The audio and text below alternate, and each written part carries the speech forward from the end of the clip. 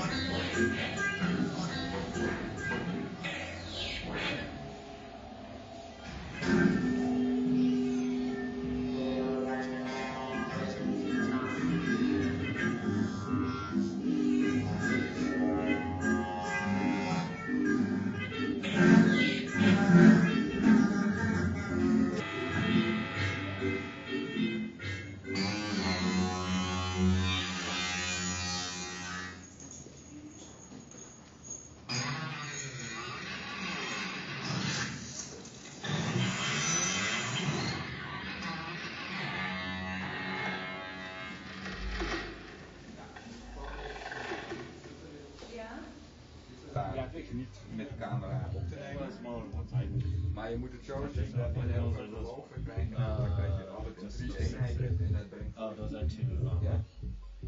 Oh, zo yes, moet je, the zo moet je cheap one. bekijken. Ja? Daar heb je een bak met vloeistof. En op het moment dat je daar dus een soort drie ultrasound brengt. This rather than like the one out there that has this circular thing on one I don't, I don't put it. You don't like the no, circular? no, no, no. You know what? Why not? You can grab it like this. Yeah, you can do that now too if you want. Fine. But this one is my low frequency.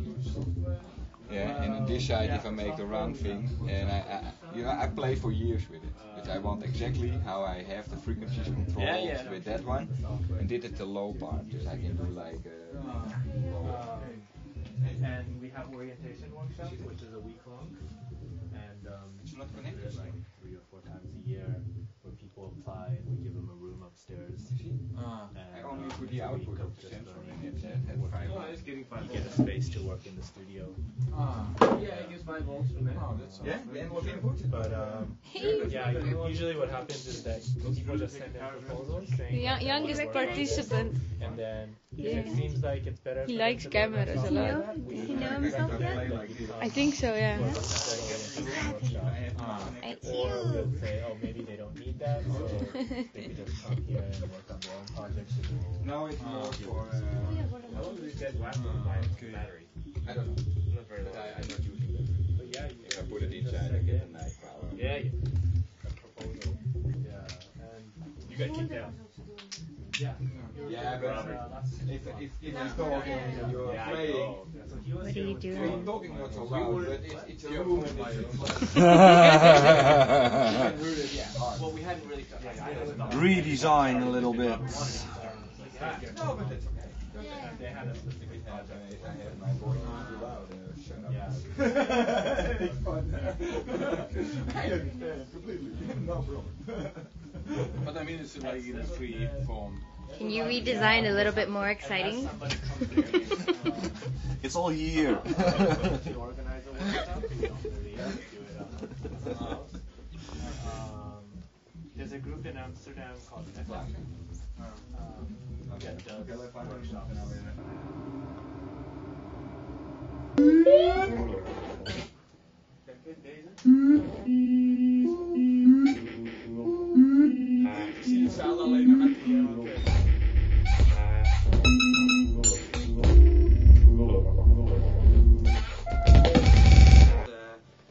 Once uh, screwed my uh, sample uh, library, and uh, now it keeps on telling uh, there, there's a sample missing. When I open the, the file, it says uh, there's a sample missing from in the in the library.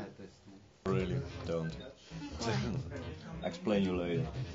You don't like being on camera? Uh, not now. Um, Okay. yeah, they, uh, yeah, they, each, each company has a different set of um, requirements. Okay, what you have to.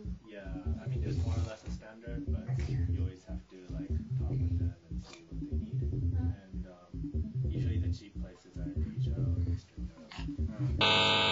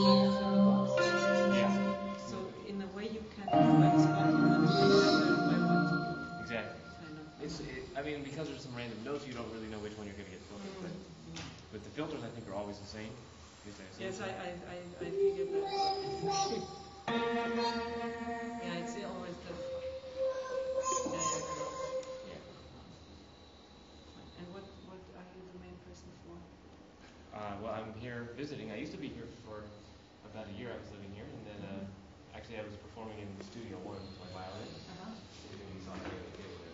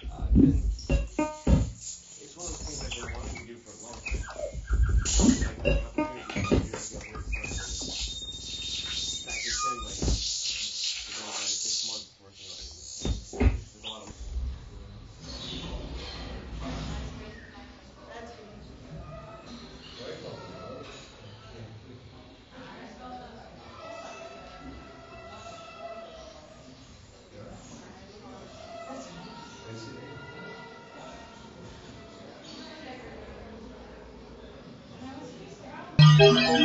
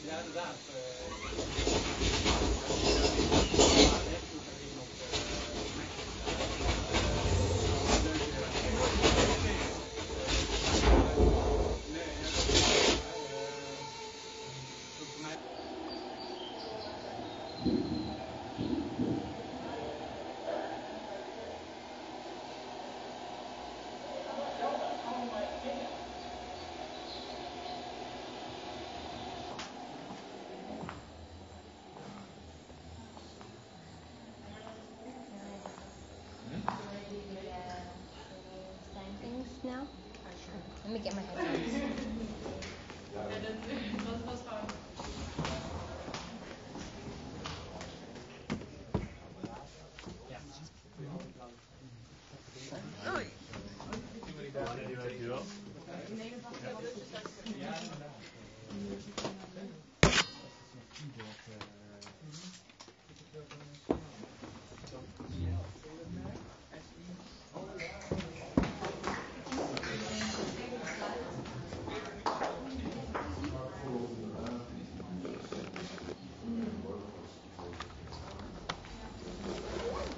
Is now a good time, or do you want to do it tomorrow?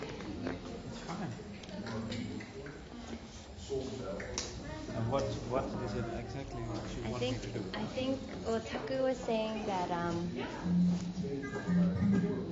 that there's new there's two new things that need to be documented. Oh, These two? yeah. Okay. That, that's already a little bit older. So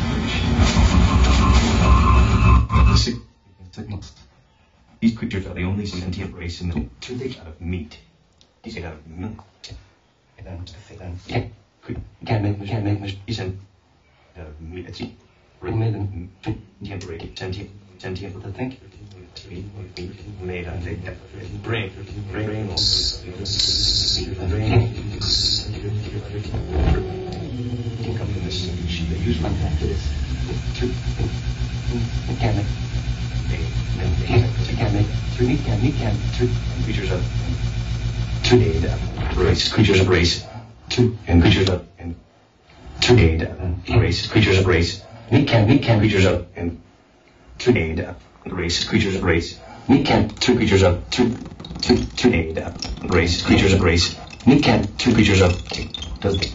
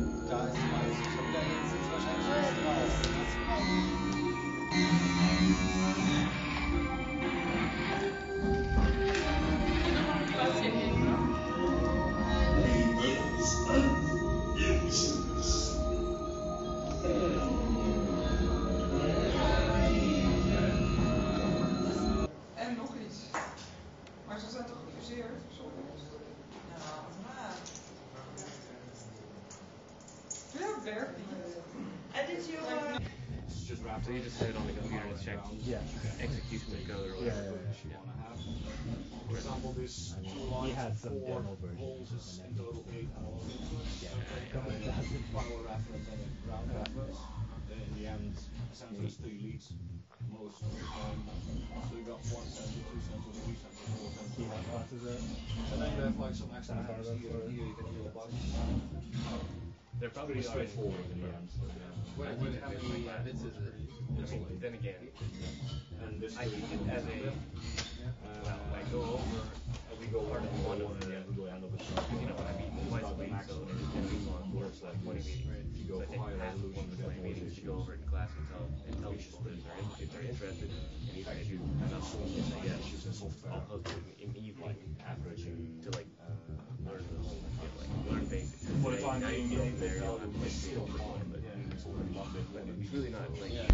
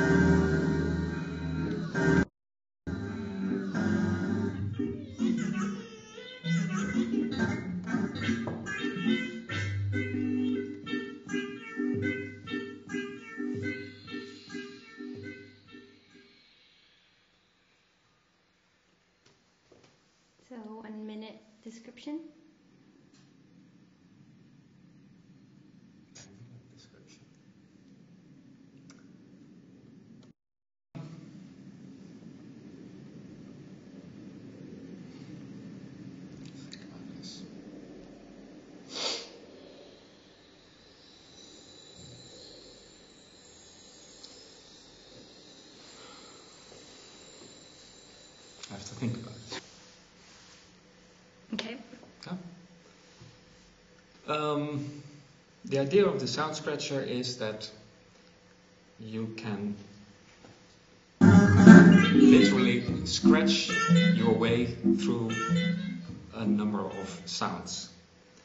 And what you have is these two handles. You pick them up and you have to aim them to each other. And I will not do it right now because of the sound. And by just changing the distance, you can select pieces of the music that you're listening to. So you have one long sound file, and by changing the distance, you select which part you want to listen to. But there are some hidden extras.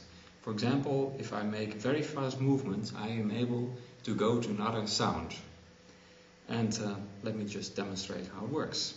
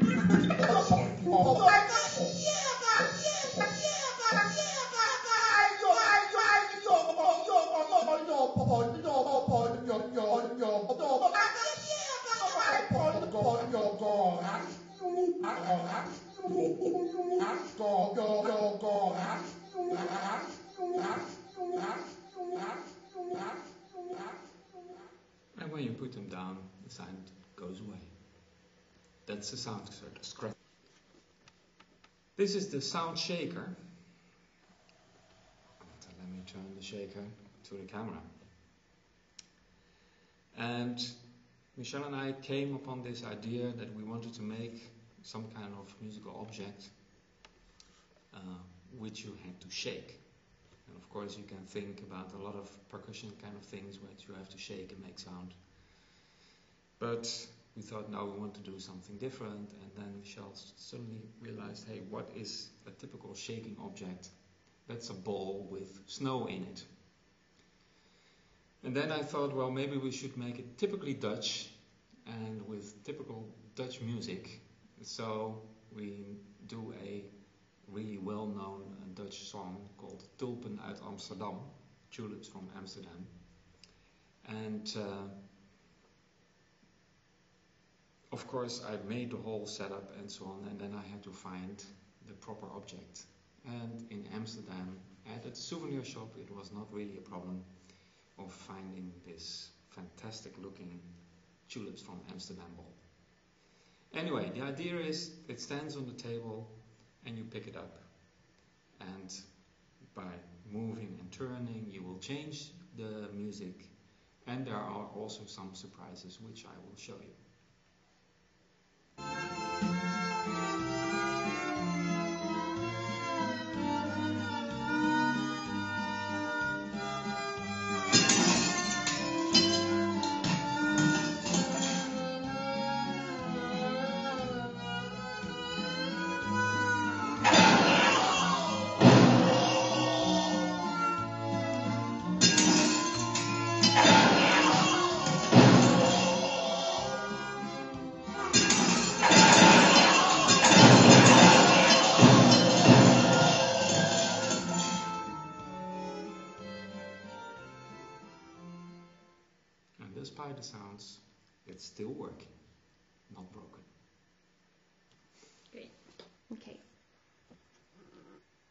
This object is called the headbanger.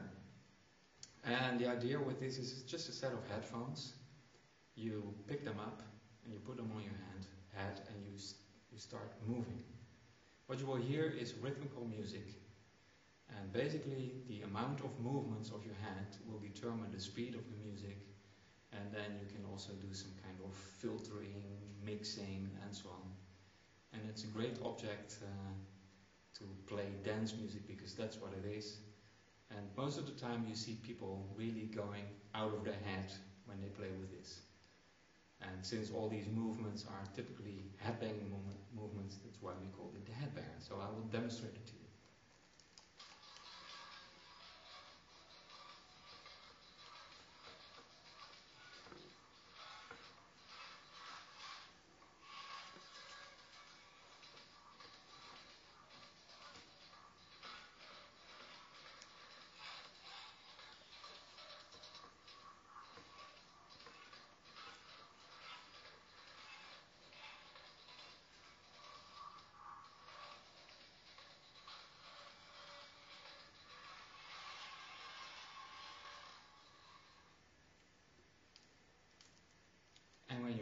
Still, the music stops again. That's it. Okay. The crackle box is one of our oldest instruments. It's been designed by Michel Waisvisz, and it's a complete, uh, you might say, musical instrument, because this whole box also makes a sound. Uh, the idea is uh, by touching these surfaces, you, you become part of the electronics. So the conductivity of your skin determines what sound comes out of it. So people who have very dry uh, skin will probably get a completely different sound from people who are very nervous or whatever. And this is something that Michel Waisvisz discovered when he was playing around with old analog synthesizers himself and opening them up. And discovered that by touching all strange kind of wires Sometimes he would get a shock, but in a lot of times he would get completely new sounds. So, that is uh, the main reason that he came up with the idea to build something like this, and he called it the Crackle Box. And it's a very successful instrument. We are also selling it. And at the exhibition, lots of people keep on playing it forever. So I will demonstrate what you can do with it. Switch it on.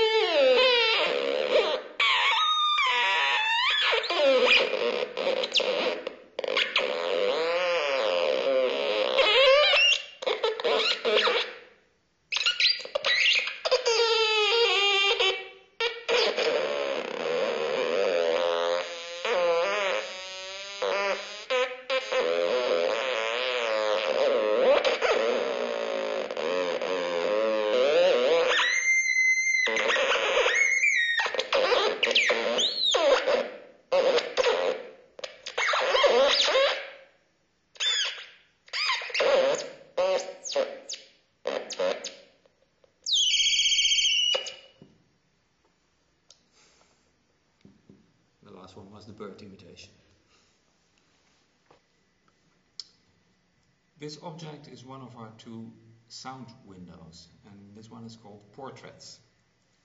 And basically, it's a touch screen, and what you see is nine pictures, eight of composers and one writer. And by touching their picture, you will start an excerpt of their music or of their spoken word. And of course, you can just listen to that fragment, but you can also caress the composer and in that case, you will change the music that they are playing. For example, here's, as we all recognize, Stravinsky.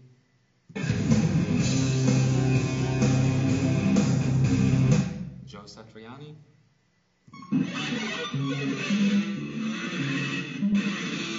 Michel Waisvisz, our artistic director. And I can touch them, and as you heard, you hear a normal excerpt. But now I will touch and start caressing. Okay. Yeah.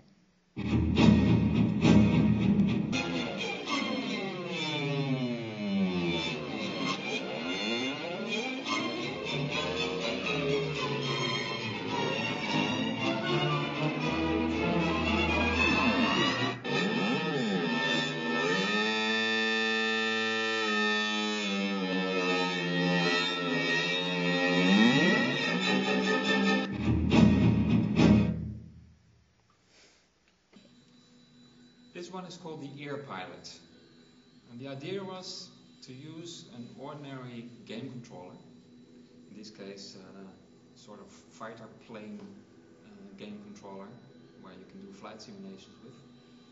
But now instead of doing this kind of stuff, making music with it. Because they're really nice controllers. And in this instrument there are a number of different sounds which you can select with buttons. And then by moving the joystick and the handle you can manipulate the sound. So let me start by just playing some stuff.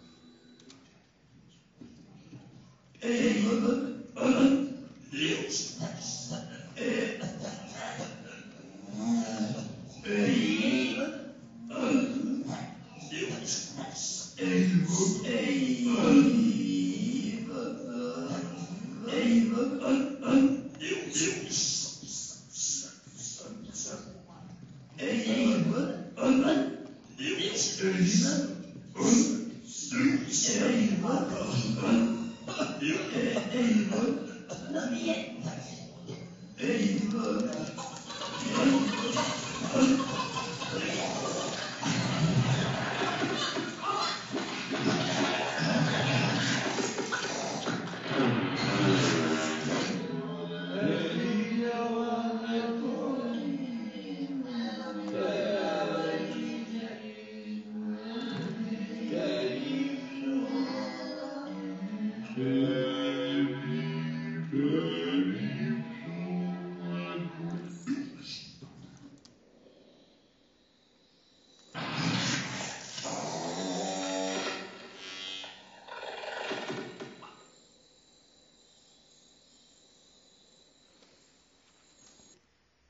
This is the this is the second sound window and it's called Sonic Aladdin. And here you have a sort of blank window in front of you. And the idea is that just with one finger you touch it, you press and then you start moving around and explore all the sounds that you will discover. It's again, it's based upon a touch screen and you will discover that by touching the, the, the, screen on different positions. You will start with different sounds. And so there's lots to explore. Let me demonstrate it to you.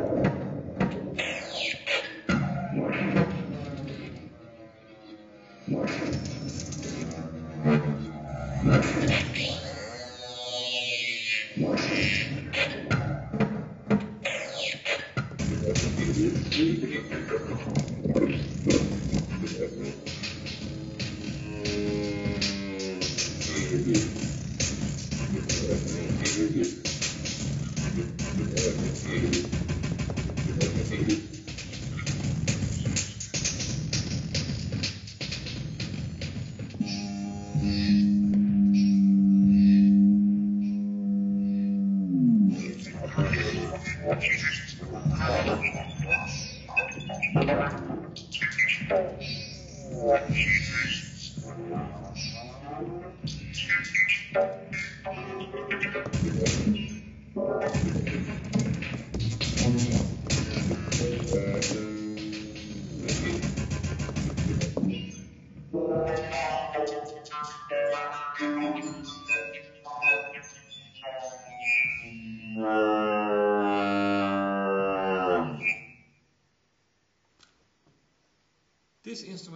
called the finger web and originally designed to be a complete electronic music controller with lots of possibilities. It has now ended up being in the exhibition and that's one of the reasons that we decided to sort of uh, hide parts of the interface for the public because it's such a complex instrument that it becomes impossible to learn it in such a short time. So basically now what you do is you just use the strings over here. The idea is that with your left hand you play sounds by just grabbing the strings together and with your right hand then you grab the other side and you start pulling the strings. And while you're doing that simultaneously you just listen to what happens to the sounds. And what is very interesting that a lot of people who have never played music before in their life, they suddenly are making music. And very often they spend 10 to 15 minutes just playing with this because it's so nice that they can do something while they have never learned to play a music instrument before. So it's very intuitive. Let me demonstrate this to you.